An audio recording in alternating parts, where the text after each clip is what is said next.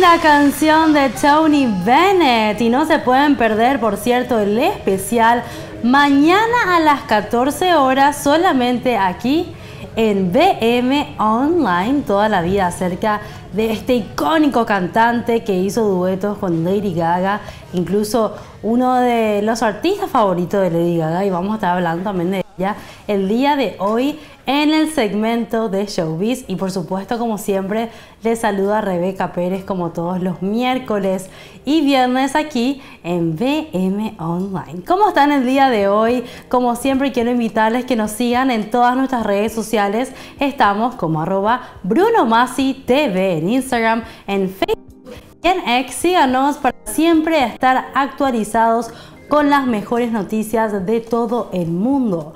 Y por supuesto, estamos en vivo en BM Online y pueden descargar la app en Google Play y la App Store o sintonizarse a través de nuestra página web www.brunomasi.com.py en donde pueden ver este mismo programa las 24 horas del día con la mejor selección de música. Y nuevamente les recuerdo que mañana a las 14 horas es el especial de Tony Bennett así que Préndanse porque tenemos un playlist fabuloso de Tony.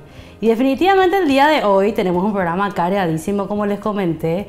Hoy en el segmento de Showbiz empezamos a hablar del tema del momento, Carol G, que sigue siendo noticia luego que derrumbó el estadio en Madrid, dando más de cuatro shows sold out. Definitivamente es la artista del momento. Carol G cierra con broche de oro su gira mundial Mañana será bonito en el Estadio Bernabé de Madrid.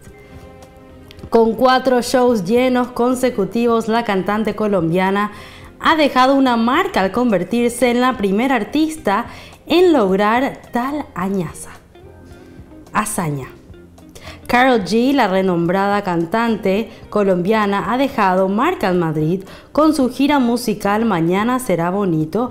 Esta gira ha culminado de manera monumental con cuatro conciertos consecutivos en el emblemático estadio Santiago Bernabéu, un logro sin precedentes en la industria musical. El último espectáculo en Bernabéu fue transmitido en vivo a través de su canal de YouTube, marcando un hito emocional y artístico para el artista y sus seguidores. En febrero de El espectáculo comenzó con TQG, su exitosa colaboración con Shakira, y el lunes hablamos acerca de esto, que hay una supuesta rivalidad entre Shakira y Carol G, porque muchos esperaron que Shakira haga una aparición sorpresa, pero lastimosamente no lo hizo. Pero sí apareció la cantante de Oreja de Van Gogh en el Estadio de Madrid. Desde que inició su gira el 10 de agosto en Las Vegas, Carol G ha realizado un total de 62 actuaciones alrededor del mundo, alcanzando alturas impresionantes en su carrera musical. El cierre en el Bernabéu no solo fue un evento sin igual en la historia del estadio, sino también un momento emotivo para la cantante quien compartió con sus fans la intensidad de sus sentimientos al finalizar esta etapa tan significativa. Las redes sociales se estallaron con comentarios que disfrutaron el show a través de la plataforma de YouTube en el Bernabéu. Por supuesto fue el concierto del año y muchos dicen que fue una de las giras más exitosas de Carol G. Hizo una gira europea donde tuvo destinos como Suiza, Italia, Alemania, Francia, eh, Gran Bretaña, Portugal y también Bélgica. Definitivamente fue una de las giras más exitosas de Carol G y aquí en Sudamérica también Carol G fue todo un éxito porque realmente si daba cuatro shows acá en Paraguay yo creo que se iban a llenar las cuatro fechas. Definitivamente ahora Carol G se merece un merecido descanso y por cierto, eh, ayer fueron los premios Juventud y ganó un premio ella. Ella como muchos artistas no pudo asistir a los premios Juventud porque ella terminó su gira, está descansando y definitivamente muy merecido el descanso que tiene Carol G. Y díganme ustedes si piensan que es verdad la rivalidad que tiene ella con Shakira. Yo quiero pensar que no es cierto, pero realmente sería muy decepcionante que dos artistas colombianas tan grandes tengan esa rivalidad. Así que díganme ustedes qué opinan en los comentarios. Y momento de hablar del tema del momento, la boda de Ángela Aguilar y Cristian Nodal, algo que nos tomó a todos por sorpresa y sobre todo la aparición de dos invitados de lujo, nuestra compatriota Nadia Ferreira y Mark Anthony, que fueron padrinos de boda, una sorpresa para muchos en redes sociales, ya que los invitados eran muy seleccionados en el rancho de los Aguilar. Fue algo sorpresa ya que muchos no se esperaron que se casen tan rápido, porque hace nada más dos meses confirmaron su noviazgo luego de que Nodal terminó su relación que tenía con la cantante argentina Cazú. Y sorprendieron a todos en redes sociales cuando el mismísimo padre de la novia, Pepe Aguilar, compartió esta imagen en redes sociales con los invitados de lujo. También estuvo el periodista de Univision, Mari, que estuvo eh, presente como testigo de la boda y uno de los pocos invitados presentes. Y muchos ya se dieron cuenta que nadie estaba ahí porque ella estaba posteando muchas imágenes en redes sociales en el rancho de los Aguilar, que es un rancho bellísimo en México, y es ahí donde se llevó a cabo la boda. Y muchos criticaron a los novios, dijeron que se parecían muchísimo, que parecían una pareja de mujeres, no son mis palabras, son palabras de las redes sociales. Y también el vestido fue muy criticado de Ángela, que fue inspirado en su abuela, Flor Silvestre, que ella siempre en varias entrevistas dijo, dijo o comentó que cuando el día que ella se case se quiere inspirar en su abuela, que siempre fue una inspiración para ella, tanto del mundo de la música como emocional. Muchos dicen que parecen dos mujeres. Así que díganme ustedes sus opiniones acerca de la boda del año Cristian Nodal y Ángela Aguilar, que por cierto tenían que también estar en los premios Juventud y dieron un comunicado en redes sociales, un video que compartió ella. Escuchemos lo que tuvo que decir a todos sus seguidores.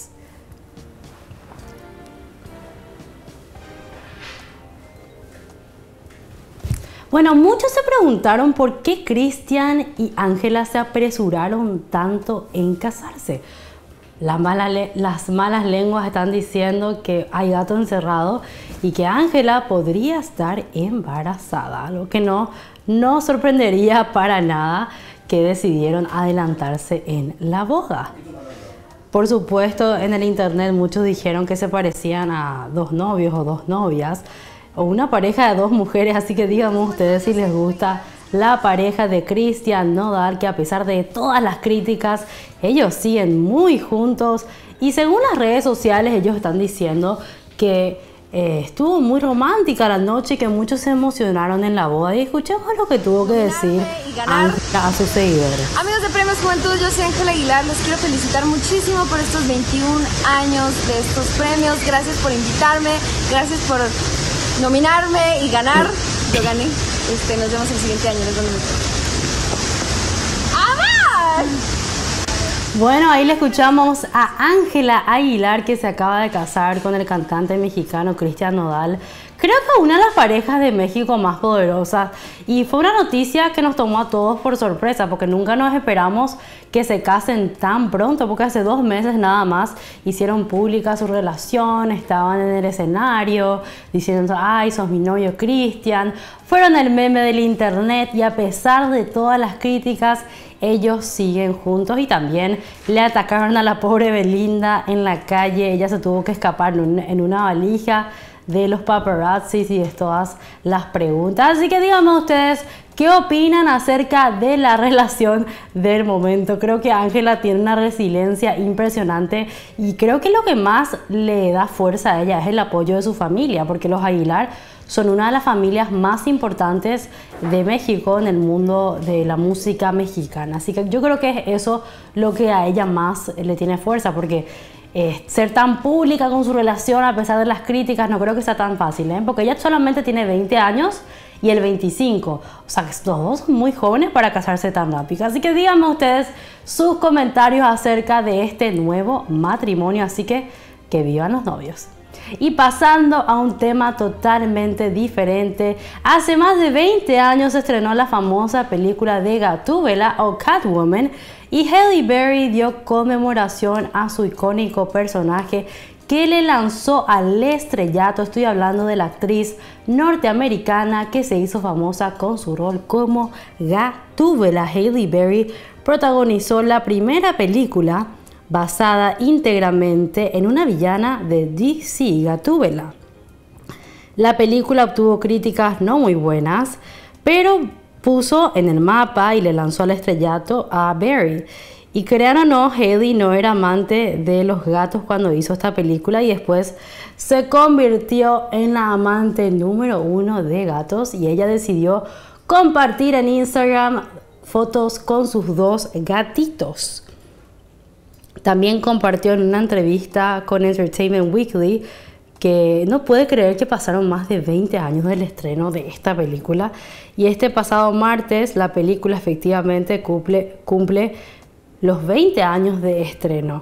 La actriz compartió una serie de imágenes en las que se le ve junto a sus nuevos integrantes de su familia, Boots y Coco. Y aquí la vemos a Haley Berry como Gatúbela, un rol muy criticado, pero definitivamente que le puso en el mapa.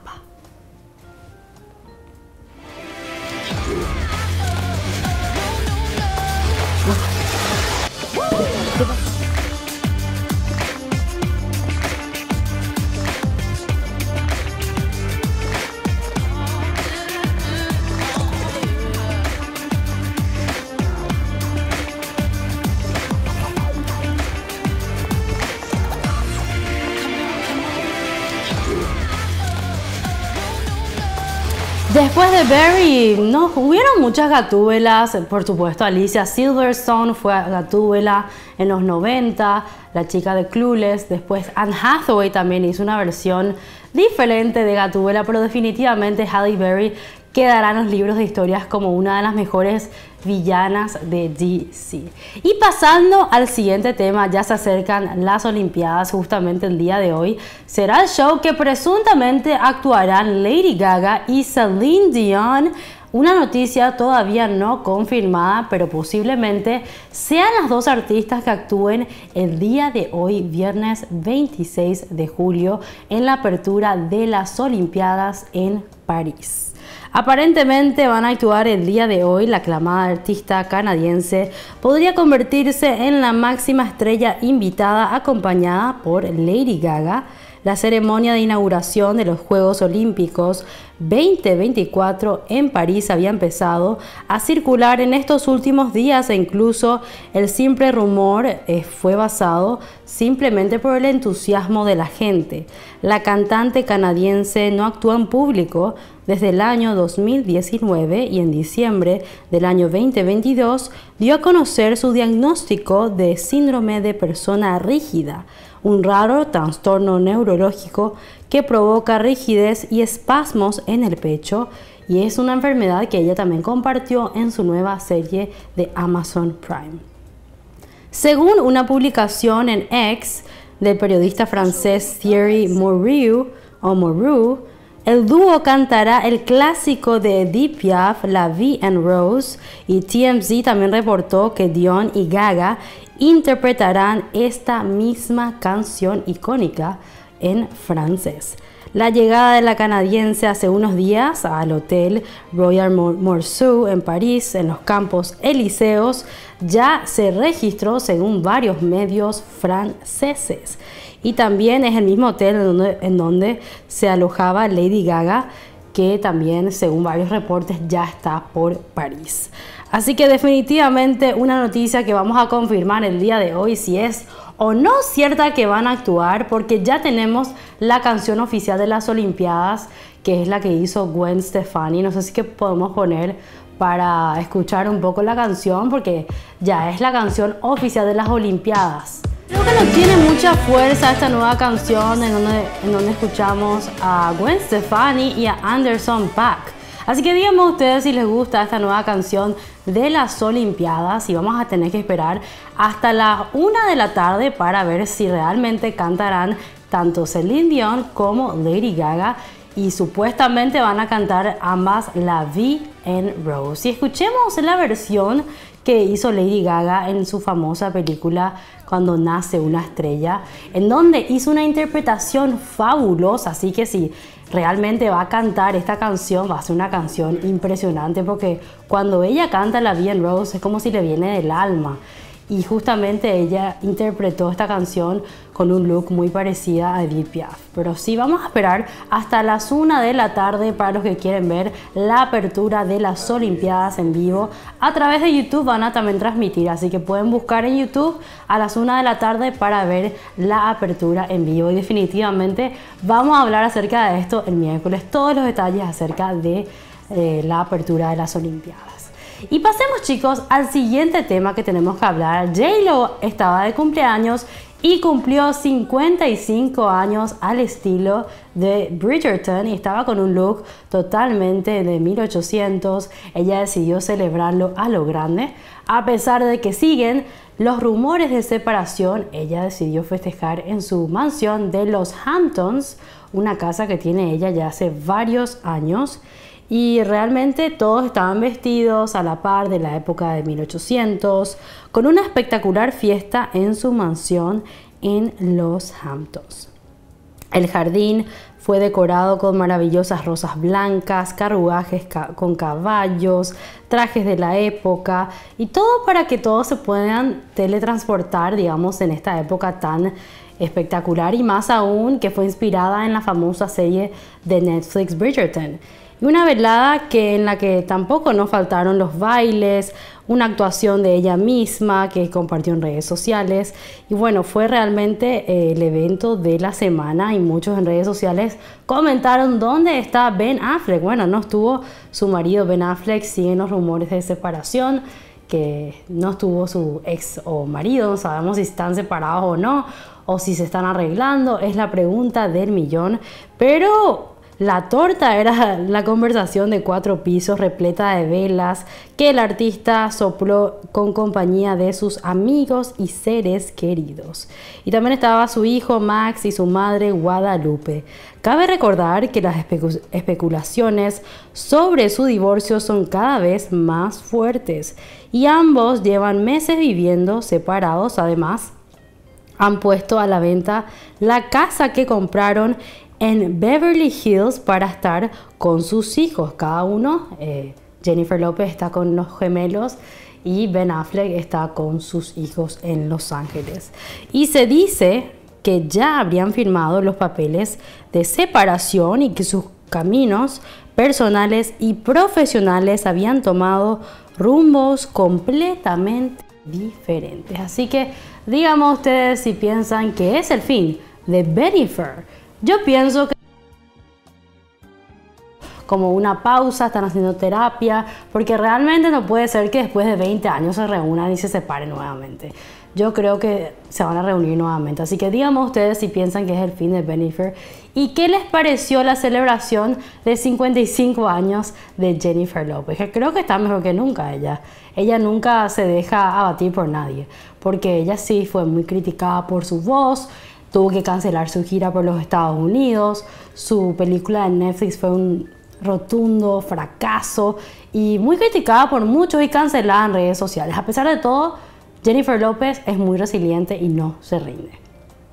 Y pasemos al último tema, Premio Juventud. Fue esta semana, más bien anoche fueron los Premios Juventud. Y no pudieron asistir muchos artistas, pero la protagonista de la noche definitivamente fue la cantante brasilera Anita, que prendió fuego a la edición número 21 de los premios Juventud al ritmo del funk. Y también elegida como agente de cambio en Premio Juventud 2024 y fue la sensación brasilera de la música que encendió el escenario. Fue desde el Coliseo José Miguel en Puerto Rico. Anita descargó toda su energía con parte de las canciones de su nuevo álbum Funk Generation y con él realizó también su exitoso hit gira mundial y también recibió un premio muy importante esa noche. Otros ganadores importantes que no pudieron asistir, que hablamos al principio del programa, Carol G también ganó un premio muy importante y Peso Pluma, pero lastimosamente no pudieron asistir. Pero veamos lo que fue la actuación de Anita en la edición número 21 de los premios Juventud. Anita encendió el escenario en la edición número 21 de los premios Juventud en Puerto Rico. A pesar de que muchos artistas de la música latina no pudieron asistir, definitivamente fue la protagonista de la noche, desde el Coliseo José Miguel Agrelot en Puerto Rico.